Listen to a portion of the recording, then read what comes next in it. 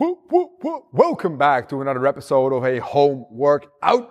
Yeah. Now, the idea today is to do three different parts. Second part actually is going to be a new movement, very, very challenging. And the first part is going to warm up the legs and the shoulders, right? Now, what we're going to do, and Sana is going to start demoing the movements for you guys, is do four different movements, switching between legs, shoulders, legs, shoulders. Let's have a look at movement number one.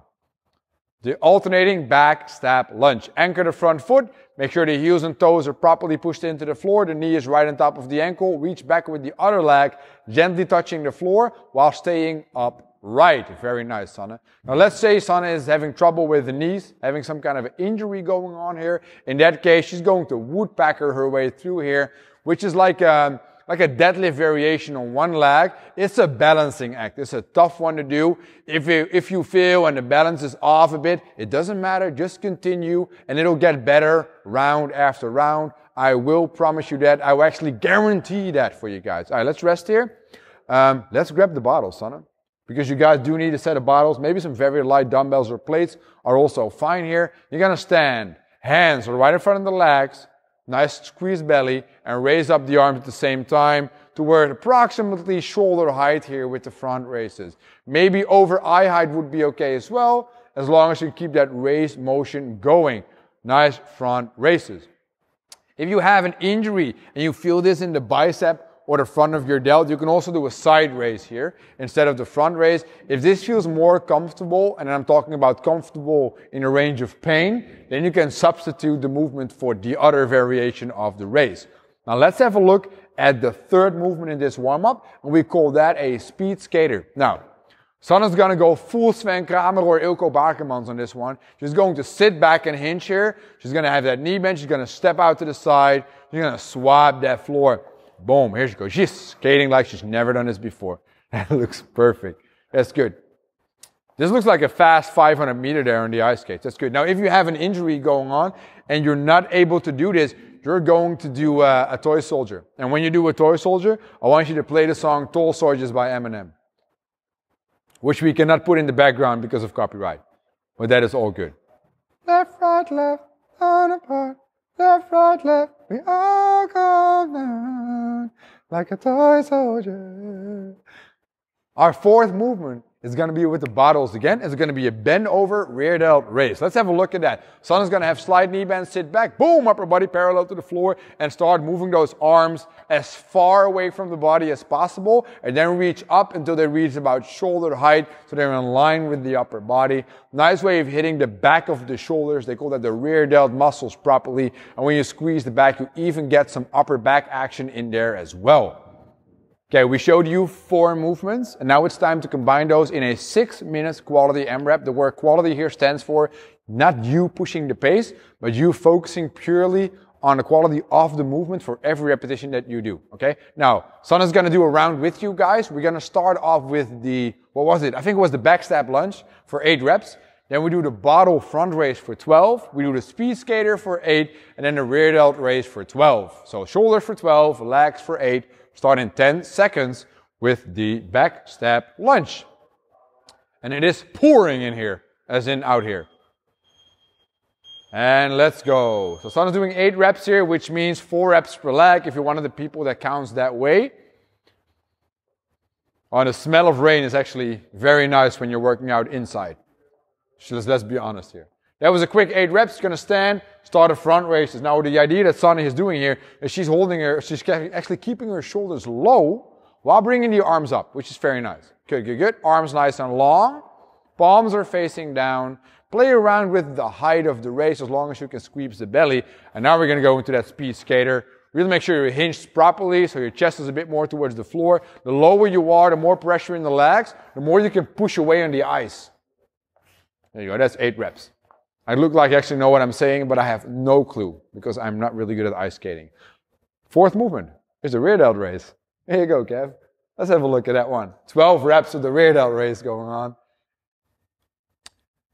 And that takes approximately, I think it's going to be a little over a minute. So with six minutes in total, I want you guys to aim for doing five rounds of this. And if you're in that fifth round and the clock says stop, you're actually going to continue and finish the fifth round because you're in your living room doing a workout. I just want you to go for quality, okay? See you guys back in a second. Bye.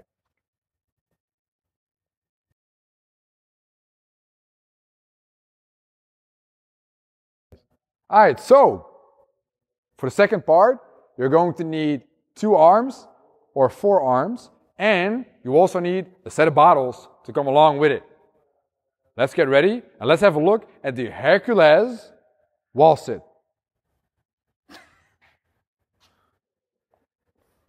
So, you're going to have a set of bottles. You're going to go into your wall sit first on us. So, give me the perfect wall sit, which is your regular squatting stance. I need your hips to be in line with the knee. Now from that position, can you go a little bit lower for me? Thank you. From that position is going to be arms to the side, perpendicular to the body. Now, this is going to be our holding position.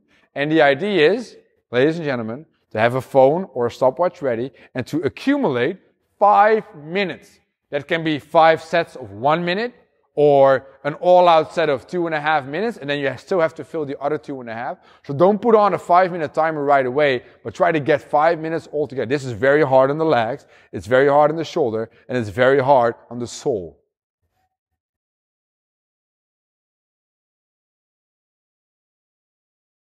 We hit our general warm-up we were Hercules sitting against a wall for five full minutes.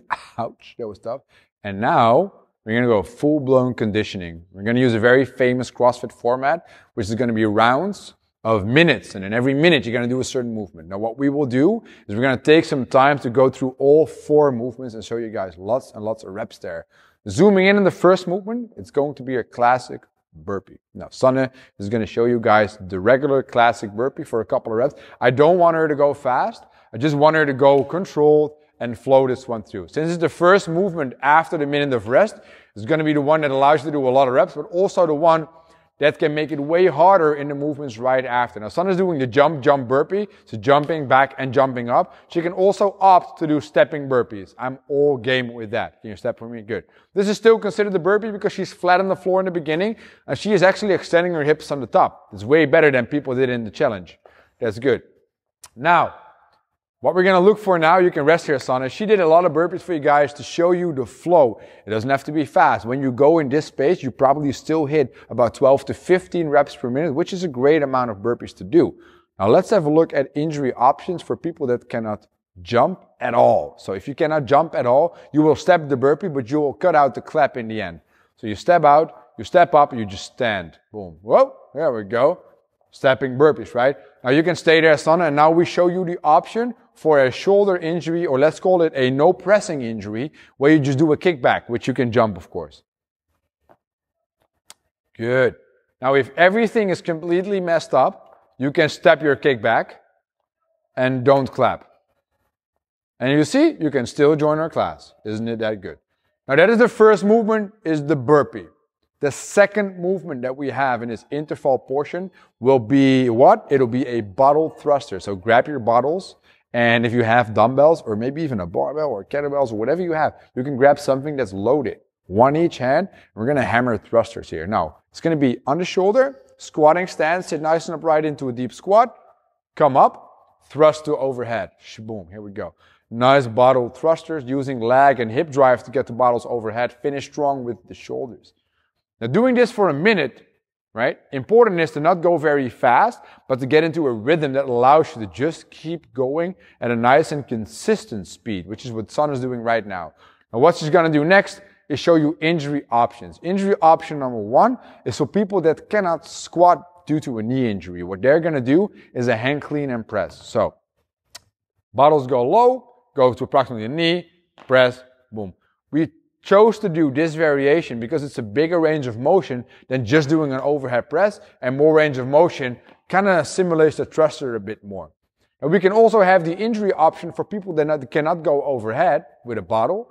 In that case, they will do hang, squat, cleans. So they'll go low with the bottles, they extend up, they pull themselves down into a full squat and stand it up on the way. Very nice cleans.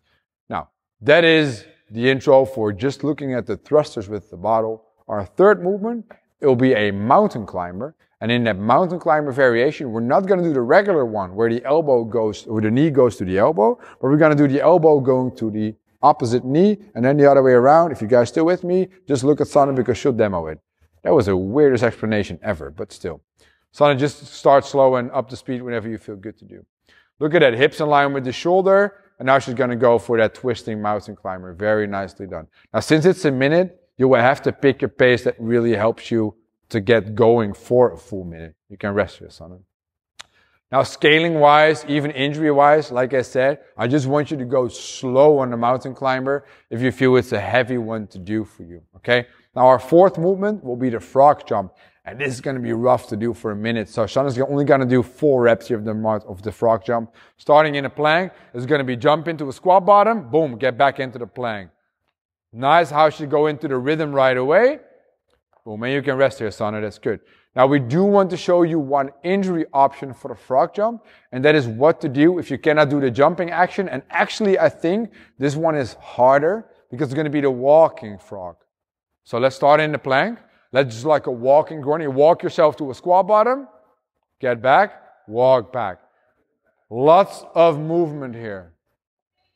Here we go. Nice little injury option for the frog jump if you cannot jump or if the apartment building you're living in is not allowing you, so the neighbors, to jump.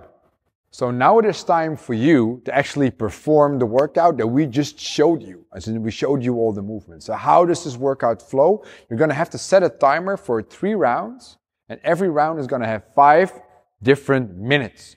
So I would set a 15 minute interval timer, right? Now what's going to happen here is this. In minute number one, you're going to do an AMRAP of burpees, as many burpees as possible. And then on the beep, for the second minute, you switch and you're going to do all those thrusters, one minute straight. The third minute will be the mountain climber where you're going to twist with the body when you do the mountain climbers. Going into the fourth minute, we're going to do those frog jumps, staying very, very low. The idea is to get as many reps done in a minute as you can possibly can. And then remember, the fifth minute is always a complete rest minute. What you might have to do is adjust the pace of the movement, so how fast you perform a repetition basically, right? To be able to survive the full minute. Now, good luck with this one and see you guys next time. Bye bye.